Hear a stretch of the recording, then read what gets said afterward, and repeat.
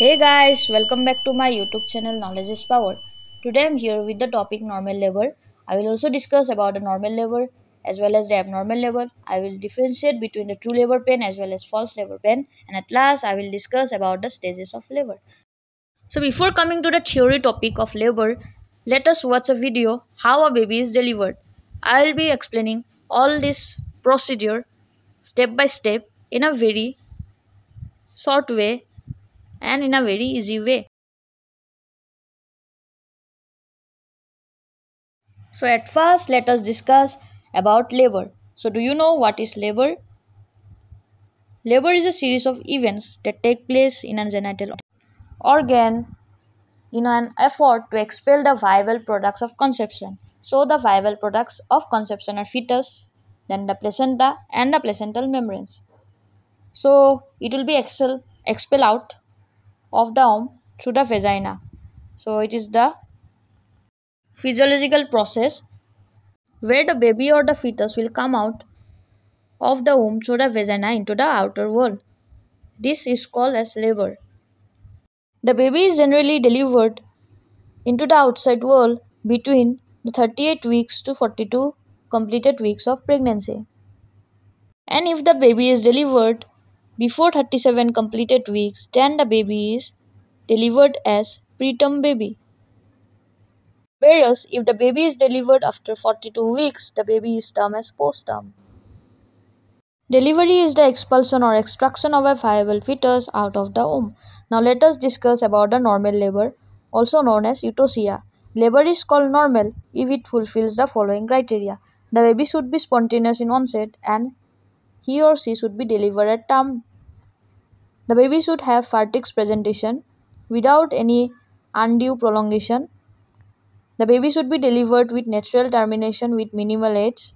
Then the baby should not have any complications after the birth, as well as the mother should be healthy. Now let us discuss about the abnormal labor. Abnormal labor is also known as dystocia. Any deviation from the definition of normal labor, it is called abnormal labor. Labor in case of other presentation other than vertex or having some complication even with vertex presentation it will adversely affect the maternal as well as the fetal prognosis. It is also an example of abnormal labor. Apart from that if the mother is having weak uterine contraction and the mother is unable to give voluntary muscle effect abnormal maternal pelvis if the mother is having abnormality in the birth canal all this may leads to abnormal labor or dystocia. Now let us discuss about the true labor pain and false labor pain. If a mother is having true labor pain then she will suffer from painful uterine contractions. That will be at regular intervals. The frequency of contraction will increase gradually as well as the intensity and duration of contraction increases. It is associated with so Progressive effacement and dilatation of the cervix is present in case of true labor pain. There will be descending of the presenting part. There will be formation of the bag of forewater and the pain will be not relieved by sedatives or enema. Now coming for the false labor pain. The false labor pain are characterized by the pain will be dull. It will not be sharp. Then it is confined only to lower abdomen or in groin areas. It is associated with hardening of the uterus. False labor pain they have no other features of true labor pain as we have discussed previously and it is generally relieved by analgesics. The labor pain is throughout the pregnancy and painless Braxton Hicks contraction with simultaneously hardening of the uterus will occur. The contractions are irregular and do not increase in frequency and regularity. These contractions sense their character become more powerful in case of true labor pain. Pain more oftenly felt in front of the abdomen and it is radiating towards the thigh. At last, let us discuss about the different stages of labor. There are four stages of labor. The first stage of labor it starts from the onset of true labor pain and it will end after the full dilatation of the cervix.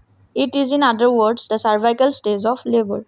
Coming for the second stage of labor, it starts from the full dilatation of the cervix and ends with the expulsion of the fetus from the birth canal. It also has two phases, the propulsive or passive phase. The propulsive or passive phase, it starts from full dilatation up to the descent of the presenting part to the pelvic floor. Secondly, the expulsive or active phase is distinguished by maternal bearing down efforts and ends with the delivery of the baby. Now coming for the third stage of labor, it begins after expulsion of the fetus and ends with expulsion of the placenta and placental membranes. Then coming for the last stage or the fourth stage of labor, it is a stage of observation for at least one hour after the expulsion of the baby. During this period, maternal vitals, uterine retraction and any vaginal bleeding are monitored. Baby is also examined. This is done to ensure that both the mother and the baby are healthy and well without any complication further. Now let us understand this concept with the help of diagrams. So in this diagram, it has been showed that the cervix is effaced or not. So in the diagram A, please have a look on it. Before the labor begins, the cervix is not effaced. Then in the figure B, it has been showed that the cervix is 60% effaced. Then in the diagram C, have a look on it. Cervix is fully effaced. Do you know what is effacement? Effacement is the process by which the muscular fibers of the cervix are pulled upward and merges with the fibers of the lower uterine segment. The cervix becomes thin during the first stage of labor or in case of primigravida, the effacement occurs after the dilatation of the cervix but in case of multipara mother, both occur simultaneously. Expulsion of mucous plug is caused by effacement. Next in this diagram it has been showed the second stage of labor. The time duration to complete the second stage of labor in case of primigravi mother is 2 hours and 30 minutes in multipara mother. Now have a look on the picture of the third stage of labor. The average duration is about 15 minutes in both primigravi and multipara mother. The duration is, however, reduced to 5 minutes in case of active management of labor.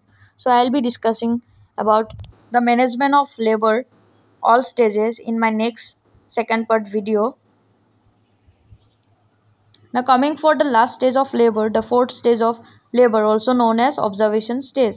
Here the baby should be assessed. The mother should have regular assessments at least one hour to minimize the complications.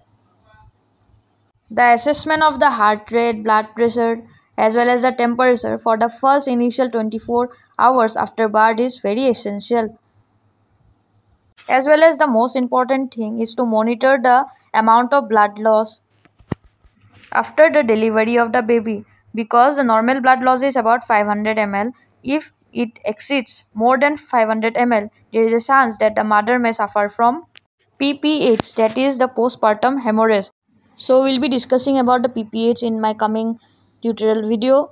Apart from that, there is a chance that the mother may suffer from infections. That is why for all these reasons, the mother needs observation as well as the baby needs observation. So guys, this is all about the normal labor, about the different stages of labor. I have also discussed in today's lecture about the true labor pain and false labor pain also, I have differentiated between the eutocia and dystocia. So, hope you all guys got brief idea regarding the normal labor in a very easy and brief way. Thank you guys for watching this video. So for more useful videos, please like, share and subscribe my YouTube channel. If you are new to this channel, please don't forget to give your valuable feedback and if you want me to discuss some topics related to medical or nursing topics, you can also suggest the topics below in the comment section and I will be discussing later in the coming videos. So thank you.